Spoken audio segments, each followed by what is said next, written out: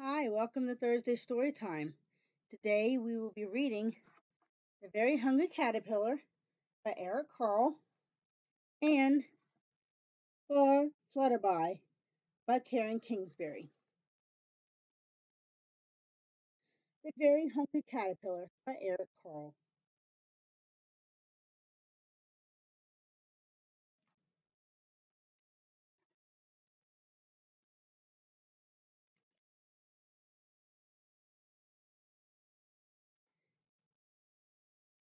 In the light of the moon, a little egg lay on a leaf.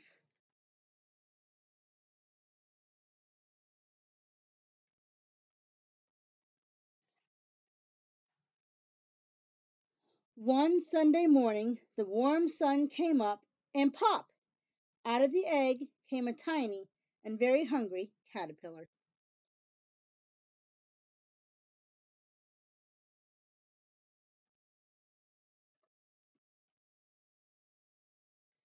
He started to look for some food. On Monday, he ate through one apple, but he was still hungry.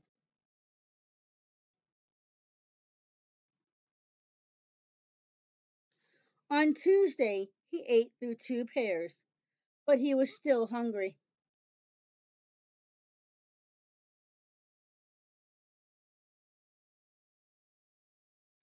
On Wednesday, he ate through three plums, but he was still hungry.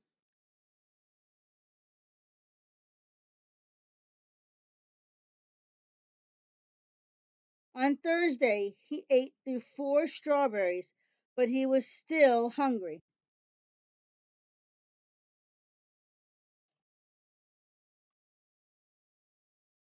On Friday, he ate through five oranges, but he was still hungry.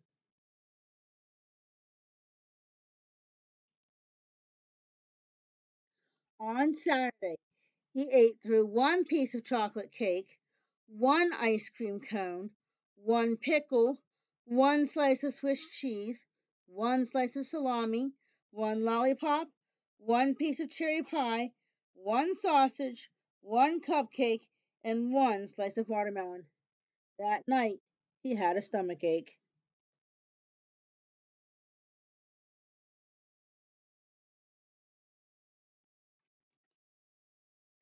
The next day was Sunday again. The caterpillar ate through a nice green leaf, and after that he felt much better.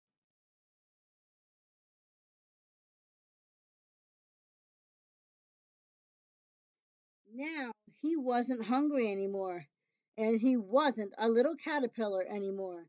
He was a big, fat caterpillar. He built a small house called a cocoon around himself. He stayed inside for more than two weeks, then nibbled a hole in the cocoon, pushed his way out, and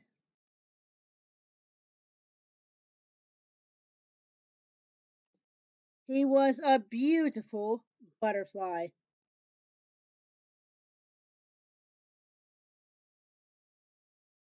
The end. The next book we're going to read is Far Flutterby by Karen Kingsbury.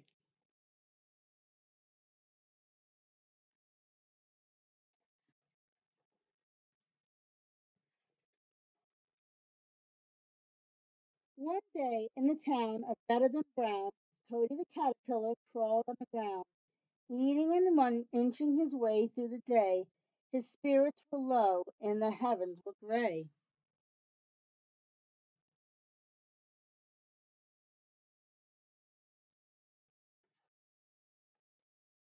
I wonder, he said as he inched up a tree, if there's more to life than just branches and leaves.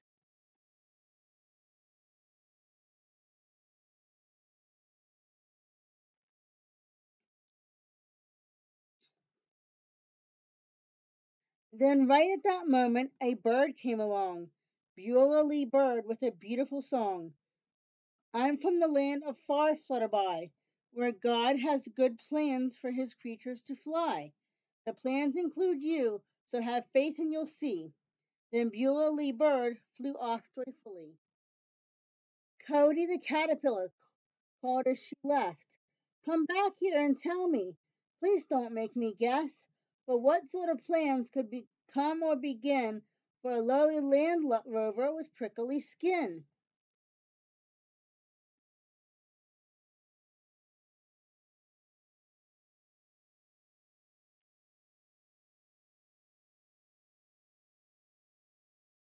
See, all around Cody the caterpillars ate.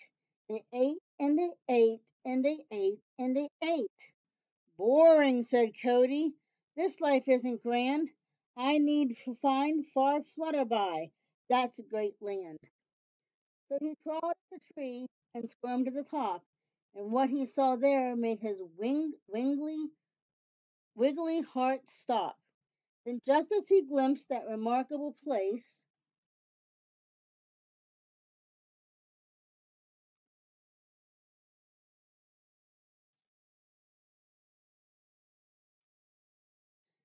a windy windstorm knocked him flat on his face.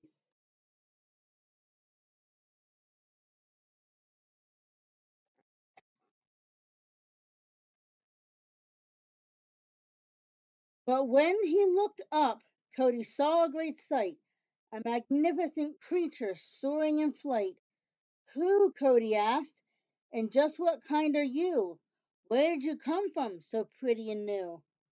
My name, she exclaimed, is Franny McFly.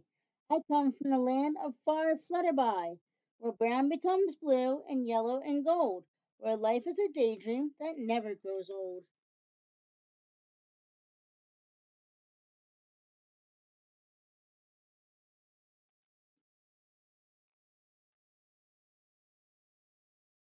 Further, said Franny, you really should go. It's God's plan for you, and I think you should know.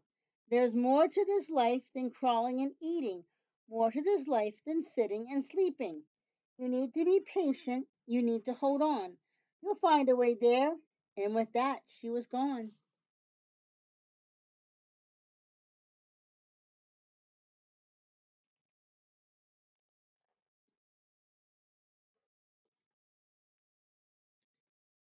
Eager to travel to far Flutterby, Cody needed some wings. He needed to fly.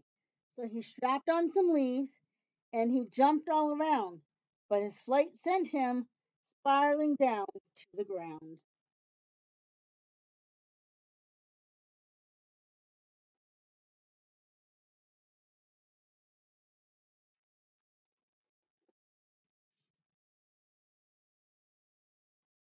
Then in a heap thought then in a heap he thought life could be tricky, upside down, sideways, and pokey and prickly. So he held on to hope because that's what he'd heard from Franny McFly and Beulah Lee Bird. Okay, Cody said, if there's really are plans for me to find more than I have in this land, when will it happen and how will I know? 'Cause here I'm still boring, still wrinkly, still slow.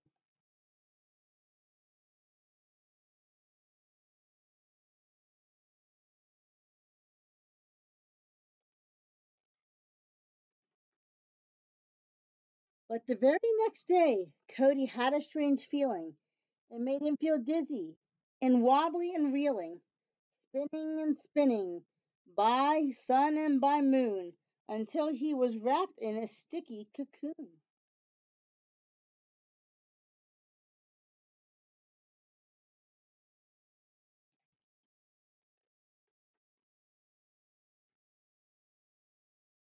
He hung upside down in the shade of a leaf.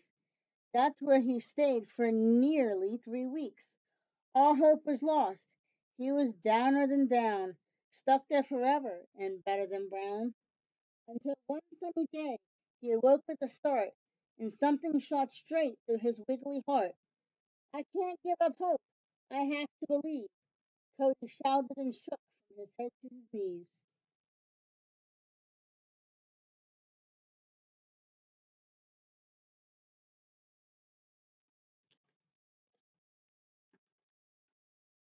Then he wriggled and squiggled and jiggled about, juggling and bugling for any way out.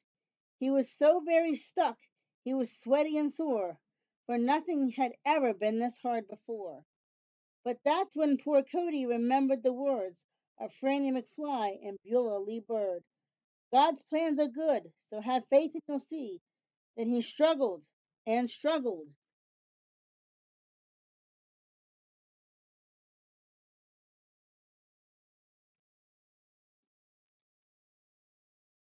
And finally broke free.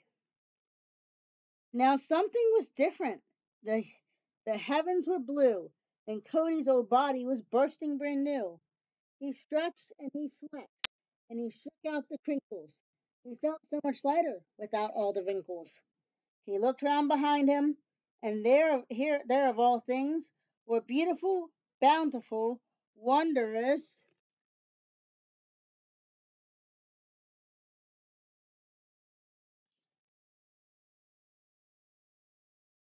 wings.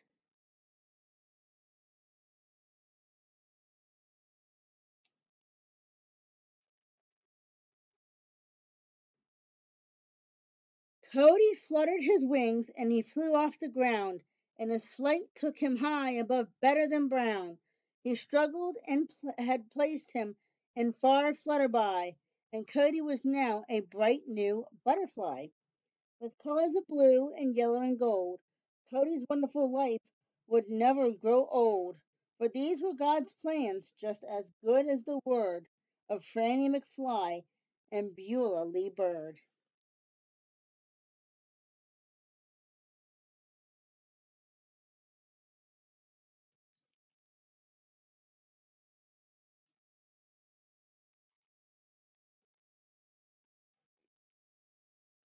Cody called to his friends as he dipped and he soared. Have faith through the hard times, believing in more. But there on the journey and stuck in the sting, the struggle, the struggle is what gives you wings.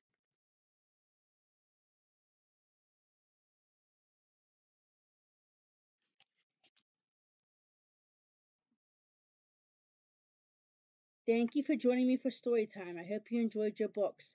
I'll see you next Thursday. Bye.